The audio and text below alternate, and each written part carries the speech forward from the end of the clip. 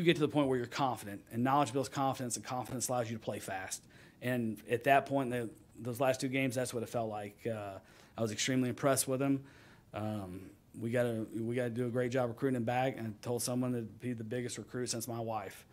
Um, and that's you know we got to do a good job with that. And I'm excited to you know get back here and talk to him and visit face to face as well. And welcome into GC Live. That, of course, new South Carolina offensive coordinator Dow Loggains uh, speaking on South Carolina quarterback Spencer Rattler, the biggest recruit since his wife, according to South Carolina's new quarterbacks coach and OC. Of course, Loggains being introduced to the media and South Carolina fans today. A pretty lengthy Shane Beamer press conference that was then followed by Loggains press conference as well. If you want to watch or listen to those in uh, their complete fashion, you can go to GamecockCentral.com or just go to the Gamecock Central YouTube. Uh, the full pressers, both about 30 minutes each, are on both those platforms. Otherwise, Chris and I are going to sort of break down some things that caught our attention, caught our eyes, and uh, we're actually going to play a few clips. I had some time uh, in between the end because it was a morning presser uh, to actually grab a few little quick clips. So I'm going to play those as well, and then Chris and I will re- will react to it. Uh, but yeah, welcome in Wednesday episode GC Live.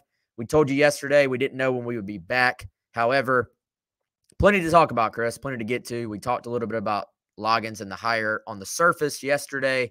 I figured um, we learned as much as you can from a press conference setting today. Uh, what's your first, I guess, initial reaction? We were on the 1075 show this morning. Didn't have a ton of time to necessarily dive all completely into it. We have plenty of time here on GC Live. So uh, thank everyone for joining us. Uh, Chris, the floor is yours. What was your first thought? Well, I, I got to start with this. Um, Shane Beamer was fired up, man. He came with uh, some receipts, as he typically does. Um, he had some thoughts, and he was pretty fired up. And look, I, I think um, we know that Beamer wears his emotions on his sleeve, and um, we know that in a lot of instances he's he's going to say what he thinks and he's definitely i mean will he give coach speak at times like all head coaches do? Sure but i think he's not afraid to come out and say exactly what he's thinking and he did some of that today and i think a lot of it was based on uh, some things that have been written and him feeling the need to i think kind of correct the narrative so to speak on what he perceives has been out there about Dowell Loggains versus what he saw during the process and tried to detail some of that. He had a list of guys he talked to, Wes, from the college ranks and the NFL ranks and all the research that he did on Dowell Loggains. Talked about him as a person, as a play caller, and as a recruiter. And then I thought it was uh, cool to get to hear from Dowell Loggains and hear him answer some questions for quite a while. I think we were actually able to learn some things, Wes, about you know, maybe not getting into the nitty gritty of, you know, what what do you expect on third down if it's third and seven from Dow Loggains? We don't know that, right?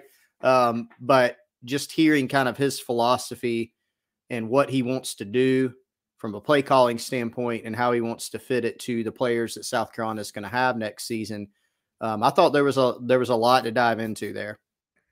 Yeah, there really was, and and like I said, I've got some clips. I tried to really just cut it down to some things that caught my attention. We really can't get into all of it because um, then I would just be playing the entire thing. But again, if you really want to hear all the details, it's about 30 minutes. Go listen to it, go watch it. But I really felt, Chris, and again, you know, it's a press conference. Uh, coaches win press conferences all the time, but I, I felt like there was a sense of understanding of the jump from sort of an NFL approach to running an offense to the college approach. And I think these two years at Arkansas, it appears have been very uh, fruitful for him as far as learning a little bit about that adjustment. Shouldn't say a little bit, probably a lot about that adjustment. And one thing I, I picked up on, a, I was listening to a podcast earlier today uh, where uh, they were sitting down with Loggains and sort of talking about his journey. He is a very curious guy, and he's one of these people that um, sort of uh, will have an observation and then will want to kind of dive into it. And so I, I, think those are kind of the people, people that are always learning, people that are always willing to learn, even if they've coached at the NFL level, they've been in ball their whole life, really. This is a guy that uh, had no designs of being a you know an NFL quarterback. He knew coaching was going to be in his future, and he really worked at the college level when he was a walk on at Arkansas to sort of prime himself to get into this. And so I, I think um, he, he's a guy. It was interesting to me, Chris, to hear him talk about what he's seen as the differences between the NFL game and the college game. And a big part of it is something we talked about for the, I mean, greater part of the last two seasons. This idea of pro style offense on, on one side versus college kids, the 20 hour rule. How complicated can you make it? And how how much can you streamline it? He used that word. Marcus Satterfield used that word at the end of the year after the Tennessee game. Can you streamline it? And we saw South Carolina finally kind of unlock that at the end of the year. A lot of the same plays, Chris. It, these were not new concepts they were running at the end of the year, but they streamlined how you get to it. And my biggest takeaway, yeah, we don't know what the what the third and two uh, go to play is going to be. We don't know if the personnel is going to be two tight ends or four wide receivers. All that is to be determined. My biggest takeaway from a big picture standpoint was that kind of a similar offense, I think, to what we saw at the end of the year. Probably add in some Kendall Briles touch, some sort of um, Briles coaching tree, spread the field. You heard him say um, space and pace quite a bit. He talked about the difference in the hash marks in the NFL, where you're like this college or, or actually, uh, basically, you you have a greater which which hash you're on has a greater impact in college because you have field and boundary, whereas the NFL you're more centered basically. So I, I thought it kind of fits what we saw at the end of the year. Um, and then he talked about verbiage. I've got a good um, clip on that. But Chris, it seemed like again to try to simplify what I'm trying to say. A lot of what we saw at the end of last year, plus some Arkansas spread, Briles influence, all encompassed by trying to streamline it into some shorter calls, verbiage, and just packaging all this up.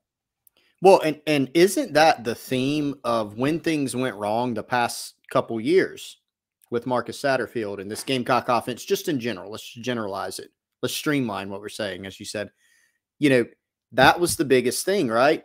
Not that, well, gosh, the, this play design doesn't make any sense. Like some people said that. Why did you call this in the, on this down and distance? That surely comes up, right? Or even something like why are you running so many zone concepts or why are you running the duo play? Like those things did come up, right? But the biggest overarching number one thing that we consistently heard and that was obviously an issue was just things like carrying too much into game week, having things being overly complex, maybe sometimes running some things that your players have not repped as much. Now, contrast that with what we saw the past two weeks or the last two weeks of the season, rather. It wasn't everybody was in a mad rush at the end of the year to, oh my gosh, they, they scored so many points. There has to be a different play caller, or there has to be, eh, they had to have thrown out the entire offense and installed something new. And in reality, it wasn't those things. It was that they very much honed in, focused in, cut down the amount of plays that they were carrying into the game, cut down what they were repping during the week and just streamlined it, like you said, Wes, to where the players are go out able to go out and do what Dow Loggains said at the beginning of that clip, play fast, and they're able to go out and execute much better. Um, so clearly there was something to that notion, and something we talked about, Wes. I think yesterday on here on the show was just looking at that and trying to harness that and recapture that spirit. Will there be some plays that are different? Sure, but a lot of the things that they did this past season throughout the year conceptually were okay. They did a lot better running them at the end of the year. And so, uh, no matter what the offense looks like, there'll be some similarities from what we saw uh, the past two years for sure. There will also be some differences for sure. But being able to give the players things that they can go execute quickly and something that was talked about again today that you mentioned was you know, just the verbiage and how you're installing and how much you're installing. I think those are very, very important aspects. Along with, sure, the scheme's important. What you call on a third and four is important. But what are you doing to coach your guys up and make sure that they're in good position to execute it? Yeah, certainly. And I, I think, Chris, you look and um, he even mentioned wanting to sit down with Spencer, and that's sort of assuming that you get Spencer back. And, and certainly some of that's going to be kind of recruiting Spencer back and getting an idea of what he wants this offense to be, getting an idea of what he's looking for moving forward. But Chris, I, I thought um, intriguing to hear him say, you know, I assuming Spencer is back, saying, I want to talk to Spencer about what what he likes, what is he what is he most comfortable with, what concepts um, does he feel like he can most go play free within, and so I, I think um, you know, a lot of it I would imagine is going to look somewhat like we saw at the end of last year. At the same time, there's always going to be an influence with a new coach. And I, I think some of it's just going to be, like we said, just getting to it a little bit more of a compact way. And uh, I, thought, uh, by the way, I've, I've got this thing again clipped up. This matches perfectly what we're talking about. So, real quick, here is um, Loggains talking about that very thing verbiage and uh, verbiage in the NFL versus college, but then possibly being able to do some of these NFL concepts without all the verbiage. And then you come to college football, you're like, oh man, they got class. They're 18 years old. I can't, I don't remember what it was like when I was 18, but I had a lot of crap going on in my life that football wasn't always the the most important thing. I had to study. I had to find a girlfriend. Uh, you know, I had to hang out with the boys and all that stuff. So what I have learned, I've told my friends in uh, pro coaching that there's a disconnect there, and you and it comes with verbiage. And I made the comment earlier um, to my guy from Cleveland that uh, um, that knowledge builds confidence, and confidence allows you to play fast. And some of that is reducing verbiage as much as you can to make it fit where it still makes sense. And you don't have to have a 17 word play call. And I don't I don't know that I would have known that if I didn't come for two years and watch college football and and understand exactly what these guys are being taught because these NFL offenses, offenses they're awesome and they, they are super sophisticated and you also get paid in your full time that, that's your job full time you're expected to be there at seven o'clock and leave at five o'clock compared to a 20 hour rule. So it's crazy to think that we're going to try to have pro style concepts like that they've had here. Obviously they're, they're very sound that way but how, how much can we reduce the terminology and still be efficient and streamlining the the biggest thing I've learned from college football was the space and pace of the game and the ability to communicate with signals and as uh, few words as possible. And that, that's you. What I've been impressed with is how fast these kids learn a signal, opposed to words. For whatever reason, it just hits their brain and where you don't even have to say something, but you give a signal and everybody knows what to do. And there's a lot more one word play calls in college football. And I think there that's where the biggest transition for a college quarterback is going from college football to pro football. Um, but you can still run pro style concepts and be able to communicate and signal in a fast way. That to me, that that last sentence, you can still run pro style concepts and be able to communicate um, and signal in a fast way. Um, might be the most succinct way to sum up my takeaway from the entire press conference because I think that is the key. And I, I, think, you know, there was another quote that I thought was very interesting, Chris, and I can't even remember which little clip it's in, but it it was not let me say it like this. I don't think it was a shot at anyone else because I really doubt he's paid any attention to the South Carolina press conferences um, from this past season. But did you catch the the little quote there where he said, "I don't want to come into a press conference and have to ask a question. Why didn't this guy catch the? Why did this guy only catch the ball two times? Why did this running back only run the ball nine times?" Um, I really don't like. Sometimes there's deeper meaning. I don't think he meant it any type of way, but it did strike me just how fitting that comment was compared to many of the questions that have taken place around here the last couple of years. Yeah, for sure. And hey, I mean, I'm with you. No, no shot intended, I don't think there, but did that come up at all, like in his conversations with Shane Beamer? I mean, you, you would Possibly. you would ha- You yeah, I mean, you would think one of Dowell Loggains' questions. I mean, you think about a guy being interviewed for a job or pursued for a job. Well, they're going to have questions too uh, for the head coach of the program, and one of them, you know, is going to be well. What did you see? What are the problems there at your program? Uh, why did why were you able to flip that switch from struggling against Georgia State in game one, having a lot of struggles against Arkansas that Dowell Loggains referenced, to the last two games and scored 63 points against Tennessee in a game. Um, how you know what happened? What changed? What did you see? What are the strengths and weaknesses?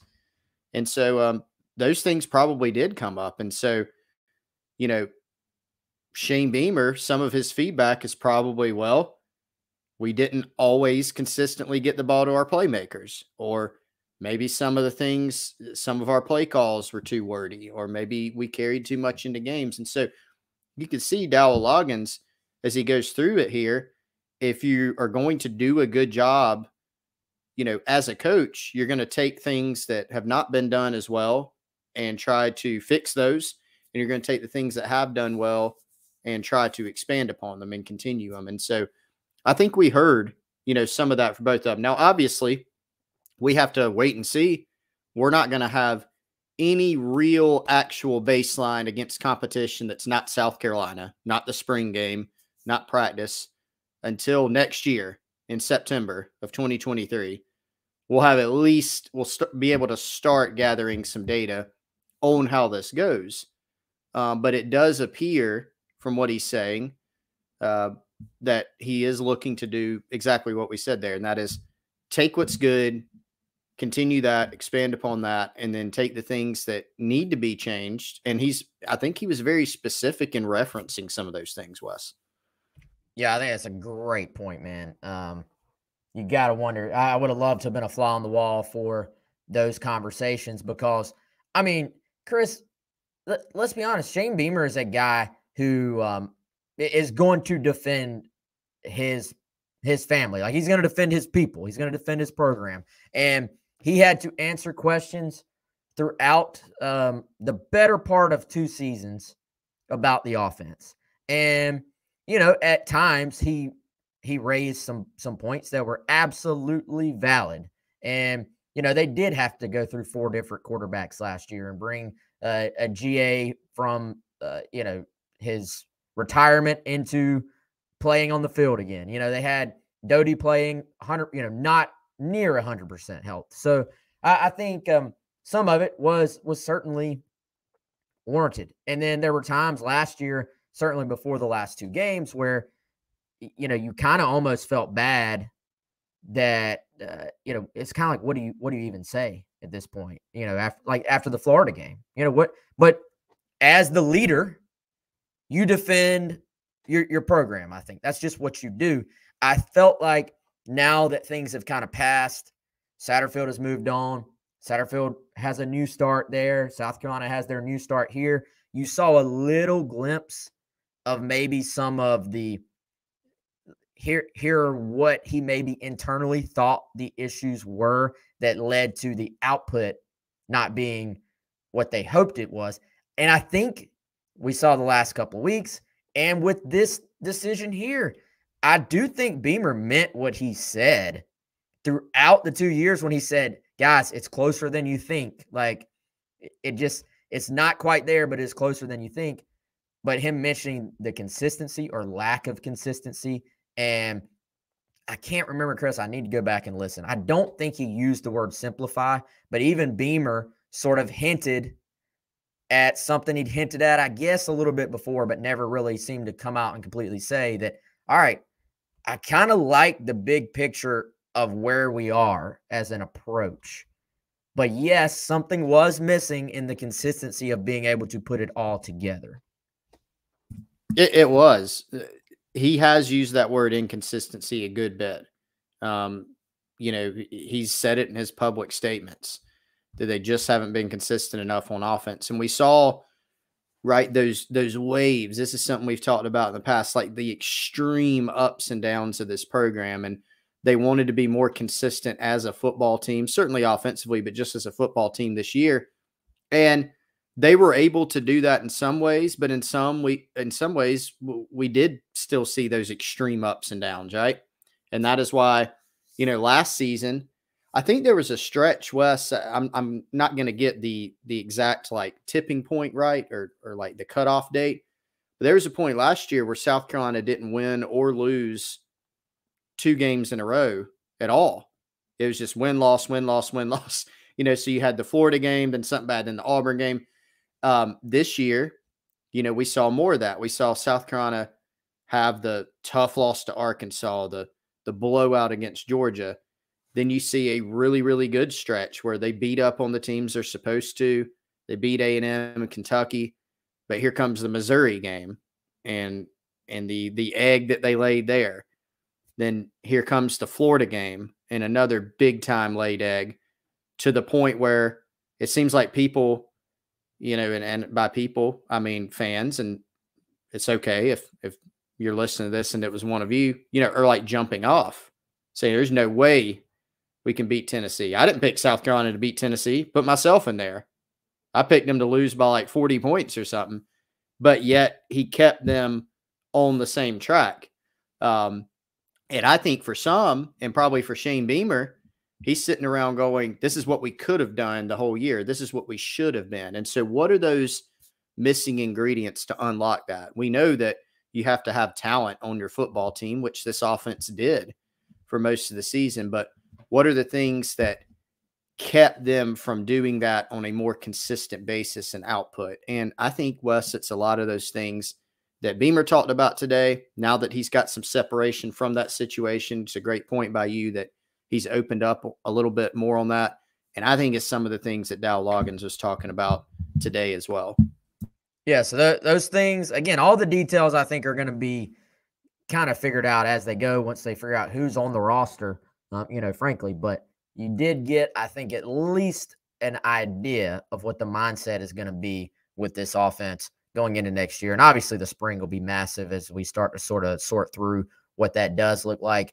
And Chris, I, I thought it was interesting today, bowl wise, bowl talk wise. How about Beamer sort of just saying, "Yeah, I know who's going to call plays, but I'm we're keeping this in house." I that was one thing I was very curious about. I was hoping we might find out who the guy was going to be. Clearly, it's going to be a team effort to put the game plan together. That's not that different than any other week, I don't think. And clearly, you'll probably see them add some. If if history as a guide, two years now of watching Shane Beamer teams, there's going to be some wrinkles when they have some time to do extra prep. And it's probably going to be some special teams trick plays, breaking news, but that's that's what we see from this group.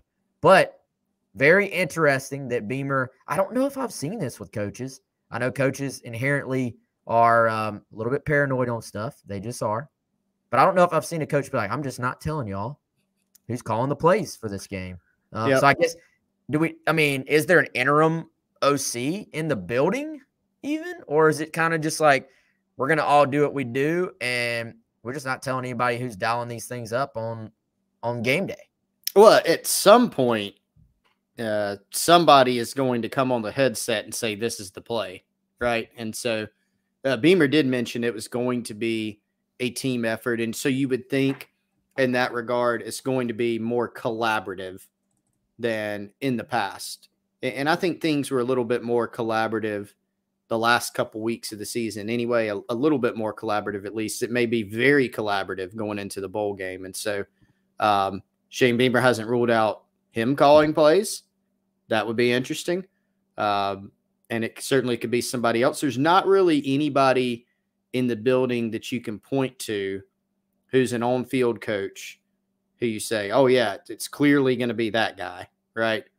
Um, that there's there's not really anyone there because there's not a guy that has just tons of play calling experience or really out of the position coaches. I don't think there's anybody that's called plays, you know, at, at the college level or any level. So, and that's talking about the on field coaches now, not say Freddie Kitchens at the analyst position does have a couple of years of calling plays at the NFL level. So it'll be interesting, um, you know, how they configure everything. But it appears that we are not going to know unless we somehow uncover that less uh, for public consumption, which we may not heading into the bowl game. I feel like we can get an idea of it, but yep. whether or not we're given the go ahead by whoever gives us the idea uh, will right. be a completely other discussion, I think. But um, so let's see. I, I think that's about all I have on um, the presser itself. I do have, let's see. I don't remember which ones I've actually clicked and played. I'm going to give y'all one more. Um, let's go with this one. I got one more clip of Loggains on scheme, and then we'll dive in to uh, some of the decommitment news real quick and uh, more transfer portal news that has just come out today. Um, so here's Loggains talking a little bit of scheme on uh, on the Wednesday press conference. The thing I know I don't want to be. I told uh, Steve this. I don't want to speak in a bunch of coaching cliches. You guys are going to find this out about me. I want to be very honest and very transparent with everything. And for me to make any kind of statement of anything other than the truth right now would be like just propaganda. Is maximize our players, like really find out what we have. I don't know right now, and we need spring ball, Rick, to find that out. I need to know what these guys can do. Our staff's going to do. They'll be able to fill me in on their opinions and um, of expectations and what a guy can and can't do. But we really want to build an offense that. Um, obviously, number one, I think the most important thing about offense is you create pressure on defense and you can do that in a lot of ways. You got to create conflict, whether that be RPOs, tempo, um, play action passes. There's a bunch of different ways to do it, but offense, defense, especially is, is really about creating pressure on the opponent. And the way to do that is you find out who your playmakers are and put them in spots that create conflict on the defense. And that's how I think that well, the one thing in college football um, that you have to attack is 53 and a third. Like everyone wants to attack vertical. But in college, it's it's space and pace. That's a real thing.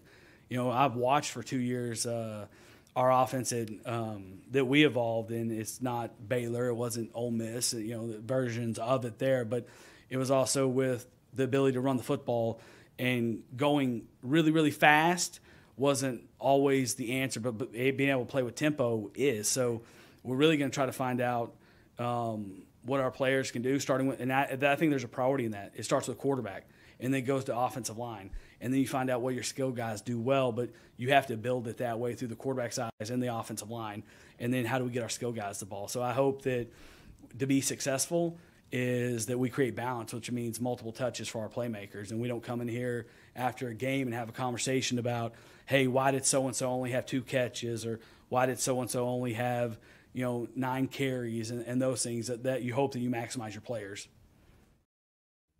Hey, I picked the right one. I actually didn't realize that was even where that quote was. But yeah, I mean, he, he said all the right things, I think. And uh, we'll certainly see where it goes from here. And I think a big thing for him at this point, he obviously is not going to be the OC for the bowl game. For about a stretch here, Chris, it's going to be all about recruiting. It's going to be about connecting with the guys that are committed uh, you talked to Dante Reno already, and uh, he has already talked to Dante Reno. Uh, we are working on getting feedback from LaNorris Sellers, South Carolina's 2023 quarterback target, who is currently committed to Syracuse, but the Gamecocks have made a big priority as of late. Uh, from what I've been told, the two of them have already connected. They've already talked, uh, but I'm still working on getting everyone some feedback on what that conversation was like. But Chris, at this point, it's I think the next few weeks for him really are probably a lot of phone calls. I would mm-hmm. think. And then this weekend, uh, you know, Beamer made note as well. Going to be a bunch of guys on campus for South Carolina, and um, you know, an opportunity for them to meet him and and sort of get to know him in person, which I think will be big, not just for uncommitted guys, but will be big for some committed guys as well. Um, hopefully, they'll go read about it on Gamecock Central. But how was your conversation with Dante after his conversation with Dow Loggains. Yeah, and, and Dante is a very you know positive guy. South Carolina's 2024 commitment. Uh, he's had his recruiting hat on firmly ever since he committed to the Gamecocks, and been really involved in trying to get more talent from even the 23 class and certainly his class in 2024 and beyond. Really been working on that class, and so I think he'll have an opportunity to uh, be on campus. Dante Reno will visit Columbia this weekend. He'll be among the visitors. Um, we'll be able to sit down with Loggains and talk talk more ball, uh, but also just get to know each other. But yeah, early returns there were fantastic. Uh, Loggains really seemed to indicate that he liked what he saw from Reno's film and his skill set and how it could fit in. And then on the other side of that, Reno was really impressed with Loggains as a person and excited about what he's planning on doing from a schematic standpoint too. So seemed like a, a good early conversation and a, and a good fit there. Yeah, I'm sure they'll dive into things this weekend and really start to get to know each other. I, I think, um, you know, not that you can always tell, man, but it was pretty easy for me to see why um, Loggains has been deemed to be such a good recruiter already, even though he's only had a couple years back in college ball. Um, that's one thing that all the Arkansas guys seem to point out is you know, this guy's just been a natural on the recruiting trail. And, you know, Chris, you and I have talked quite a bit, though. A lot of recruiting is are you a natural relationship building person? Can you connect with people? And are you willing to work at it? And, you know, I, I think uh, based on his track record in those couple of years, add it with what we saw from him just in the brief, you know, 30 minute press conference, the, uh, you know, trying to make connections with people, trying to remember people's names, um, connecting on NFL teams. You know, I, I think um, you could kind of see, j- just like, you know, I referenced this the other day. Sterling Lucas with South Carolina didn't have a long track record or really any track record as a recruiter. Talk to anybody who's been around him, talk to anybody in that building over there. They'll tell you Sterling Lucas is a heck of a recruiter, is going to have a great career in that field. And it was pretty easy for me to sort of be like, okay, yeah, I can see how this guy could connect with people. And uh, I imagine we're going to get some really positive feedback um, from what we hear from guys coming out of this weekend and, and sort of going into the next couple weeks with early signing period starting next Wednesday. Yeah, I, I think that was a great comparison with Sterling Lucas because obviously he was a guy that we knew was going to have to make some quick headway recruiting edge players, um, you know, at South Carolina because of the needs there. And he's done a good job on the trail since he's gotten hired. And since he didn't have that track record, I mean, he had been in a at NC State in, in the weight room basically or as a GA, but most of his career had been spent on the NFL field where you're not recruiting. And so then you go to, well, hey, you talk to people, what kind of recruiter can this guy be? And if you hear that he's personable and knows how to connect with people and will work at it, which is, I mean, all, points you've already made, Wes, and wants to be good at it, then that guy's going to have a chance. And so we heard all those things about Sterling Lucas, and I think those have come to fruition. And so with Loggains, we do have those attributes that we've heard, but we also have a short track record in college, right? But there is a track record, and from what we've seen, it's a good one. So, uh, did a did a really good job in this class of recruiting his position at Arkansas, which was tight ends. Certainly, you look at what he's done there, and it is pretty impressive. So, um, early returns appear to be that he's going to be well suited on the college recruiting trail. Yep, and again, be on the lookout. We are efforting getting a LaNorris Sellers reaction to speaking with uh, Dow Loggains for the first time. We'll hopefully have that later on today on GamecockCentral.com. Uh, come, sub- come subscribe. $10 will get you from now until the start of next season. And uh, Chris, some news actually as we were live slash recording here. Corey Rucker, South Carolina wide receiver, reportedly in the transfer portal. And, um, you know, it, it's an interesting loss for South Carolina. I think somewhat underlines the fact that eh, I can already almost feel fans getting what's the word? They're, they're sort of not immune to the losses at this point, but they're starting to be numbed a little bit to it. Like it was like, oh my gosh, Jaheim Bell. Oh my gosh, Marshawn Lloyd. And then it's oh, okay, somebody else. Like, okay, this is just the new normal in college football. You look at the numbers of guys that have transferred out from other programs as well. And some of them starters, some of them guys that project to play a bunch. I think Corey Rucker, certainly if he stayed, was going to be in line to play a ton next year. Like there's a lot of positive buzz about this guy, rightfully so. He's a heck of a football player. Um, you know, it, it did sort of seem, it felt like there was a little frustration just being injured this year. When I talked to him on the Garnet Trust interview, um, you know, he, he told me, I've, I've never been injured like this before, never missed time.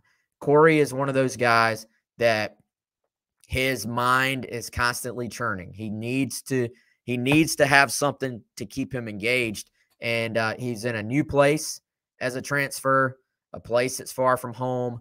And I, you know, I don't want to speculate, but um, may, maybe this was different if he was on the field, no fault of anyone's.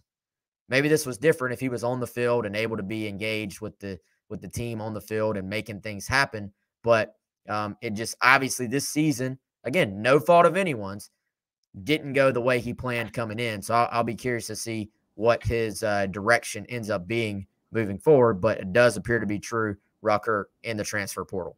Yeah, the direction uh, will be interesting. The the reasoning uh, again, we're learning this kind of in real time. What was that? 15 minutes ago, Wes, as we sit here on Wednesday at 2:38 p.m. And so we'll dig around more on that. One interesting thing I did see that I wanted to pass along, and I unfortunately can't properly credit who put this out, but apparently in the transfer portal tagged with a do not contact um, note, that is a little notation. Obviously, when you go in the portal, uh, your, your information, schools can recruit you out of that and know that you want to be contacted. He put the do not contact on. So, what does that mean? Does that mean he's going to you know he's got something in mind that he wants to do uh, that this isn't just i am going in and it's kind of open season. Don't know and we'll have to see. So we will continue checking on that. Uh, but interesting news and of course if healthy you know corey a guy that from an ability standpoint wes has a lot and i think could uh, certainly was expected to have a chance to contribute a lot next season if he was healthy yeah, and uh, I'll credit him. It was Joe Cook um, from Inside Texas. There you go. Uh, which is the On3 Texas affiliate site. Um, yeah, that's uh, I don't know. This wasn't, you know, a lot of these you will hear some buzz about it beforehand. Corey, I feel like it was just kind of rumored that he may look to leave like in the middle of the season. It was kind of rumored, but a lot of that has died, had died down a little bit. And a lot of times with some of these guys, it's just about playing time. In this case, I, I don't think that's it because he would have been in line to play a bunch. But, you know, and Chris, was he among, again, we're doing this in real time. Was he among the graduates? Um, I think I do remember seeing that. Let me effort that to make sure so it's not off the top of my head. That might be a little dangerous right now, Wes, with everything that we got. Yes, we got going um, on. Reason I asked is because someone asked. I thought it was a one-time transfer deal. Well, you can transfer. You have your one-time transfer, but then if you're a graduate, you can be a graduate transfer as well. So that's um, I don't know, uh, something to keep an eye on there, at least to try to answer that question. Chris going to effort it. I do not see him on this list. On this so, one list that I have. Yeah. Maybe, I don't know. Still do they still do the extenuating extenuating circumstances thing where you have to apply? Yes. Um, they do. But would possibly be a situation where he might have to sit out a year. So we'll see. Again, don't want to speculate. Not sure. That's fresh news. But uh, certainly a guy, I mean, I'll, I'll say both sides of it. Not going to sugarcoat it because that's a guy that I firmly believe was in line to help South Carolina quite a bit in 2023. The other side, you almost have to just get comfortable with the reality. You're going to have guys leaving your team. You're going to have guys joining your team. And it sort of, I, I think, just doubles down on the idea that South Carolina's going to have to go out and add a receiver or two. I think they were already going to be able to do that, but um, certainly I would say uh, accentuates that need to go out and, and add a receiver from the portal or two. So we shall see what that ends up being, some Arkansas guys there, people mentioned in the chat. Um, you know, I, I think uh, a possibility there of South Carolina adding a couple of Arkansas guys from the portal. All right, man. What have we not hit, Chris? Shoo. Well, Shane Beamer and Dowell Loggains spoke for about what an hour combined. So I'm sure there's some other things we could hit on. Um, but that would take all day. I, I think we hit the big things. Uh, recruiting this weekend. I'm sure some people are wondering who all is coming in. We should have a more firmed up list, I hope, sometime between today and Friday. Don't really know exactly when that'll be, but expect some 2023 targets. There will be some official visitors who are still targets. Tyshawn Russell from Pennsylvania is one. Uh, Isaiah Johnson, the athlete from Virginia, is another. And there will be other guys to watch. And there'll be some 2024 prospects on campus too, is our expectation. Potentially some transfer targets too. Um, that that's another thing to watch. So continually gathering information on that front and hope to be able to pass it along um, in the near future.